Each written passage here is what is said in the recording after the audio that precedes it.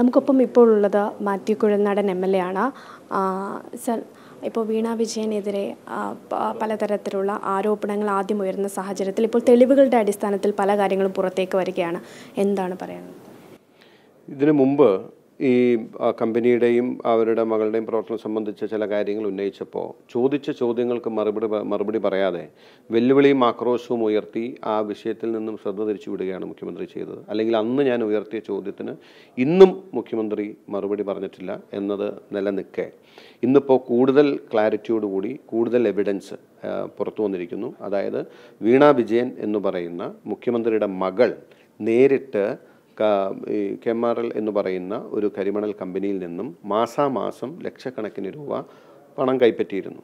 അതിനെ അത് ആദ്യം അത് ഇന്നത്തെ ഇന്ന് ഈ രാജ്യത്ത് നിലനിൽക്കുന്ന നിയമവ്യവസ്ഥയിൽ ഇതിന്റെ പരിശോധന നടത്താൻ പറ്റുന്ന ഇൻകം ടാക്സ് അപ്ലൈഡ് ബോർഡിൽ ഈ വിഷയം വരികയും അവർ പരിശോധിക്കുകയും. അവിടെ ആ കമ്പനി ഇത് മുഖ്യമന്ത്രിയുടെ മകൾ വീണ അല്ലെങ്കിൽ കൊടുത്തയാൾ അല്ലെങ്കിൽ ആ കമ്പനി അവർ നൽകിയ സേവനത്തിന് നൽകിയ പണമാണ് എന്ന് അവകാശപ്പെടുകയും ആ അവകാശവാദം പരിശോധിച്ച് വ്യക്തമായ എവിഡൻസിന്റെ അടിസ്ഥാനത്തിൽ ഈ പണം നൽകിയത് വീണ വിജയൻ അല്ലെങ്കിൽ നൽകിയിരിക്കുന്നത് ഒരു പ്രോമിനന്റ് പേഴ്സണുമായി ബന്ധപ്പെട്ടതായതുകൊണ്ട്. അതായത് പ്രോമിനന്റ് പേഴ്സൺ എന്ന് ആ ഓർഡറിൽ പറയുന്നത് ഒരു സംശയവുമില്ല കേരളത്തിന്റെ മുഖ്യമന്ത്രിയാണ്.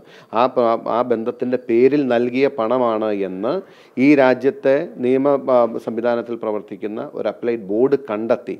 ആ, അത് എക്സ്പെൻഡിച്ചറായി അനുവദിക്കാൻ പറ്റില്ല എന്ന് പറഞ്ഞ് ഡിസലവ് ചെയ്തിരിക്കുകയാണ്. ഇനി ആ പണം ഇനി ഇതിനെ സംബന്ധിച്ച് മറുപടി പറയേണ്ടത് മുഖ്യമന്ത്രിയാണ്. പ്രത്യേകിച്ച് അദ്ദേഹത്തിനെതിരെ ഒരു പരാമർശം കൂടി ഉള്ളപ്പോൾ ഒരു കാരണവശാലും ഇനി ഇതിൽ നിന്ന് ഒളിച്ചോടാൻ കഴിയില്ല.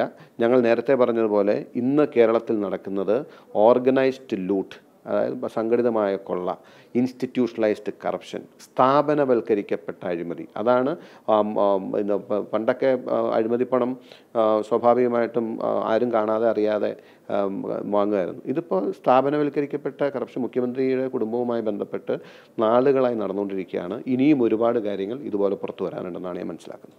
അതിൽ പറയുന്ന ഒരു ഉന്നതന്റെ പേര് അത് മുഖ്യമന്ത്രിയുടേതാണ് എന്നാണോ പറയുന്നത്? അത് അല്ലെങ്കിൽ അതല്ല എങ്കിൽ മുഖ്യമന്ത്രി അത് നിഷേധിക്കാൻ തയ്യാറാണ് അദ്ദേഹത്തിന് ധൈര്യമുണ്ടോ എന്ന് ഞാൻ ചോദിക്കുകയാണ്.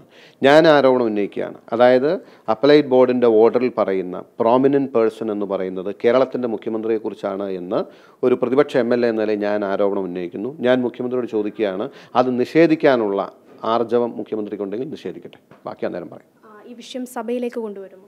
തീർച്ചയായിട്ടും ഈ വിഷയം സഭയിൽ ഉന്നയിക്കാം ഉന്നയിക്കണം കാരണം ഇത്രയും ഗൗരവമുള്ള ഒരു വിഷയം ഉയർന്നു വന്നിരിക്കുകയാണ്. പക്ഷേ അത് എങ്ങനെ ആര് ഏത് നിലയ്ക്ക് എന്ന് തീരുമാനിക്കേണ്ടത് പ്രതിപക്ഷ നേതാവാണ്. പ്രതിപക്ഷ നേതാവ് ഈ വിഷയവുമായി ബന്ധപ്പെട്ട് ഏത് ദൗത്യം എന്നെ ഏൽപ്പിച്ചാലും അങ്ങേയറ്റം ആത്മാർത്ഥമായി ഞാൻ നിർവഹിക്കും. മുഖ്യമന്ത്രിയുടെ മകൾ വീണ വിജയൻ എന്നതിലുപരി അങ്ങനെയാണോ അല്ലെങ്കിൽ സംരംഭക വീണ എന്ന രീതിയിലേക്കാണോ ഇതിനെ അല്ല ഇത് പറഞ്ഞല്ലോ.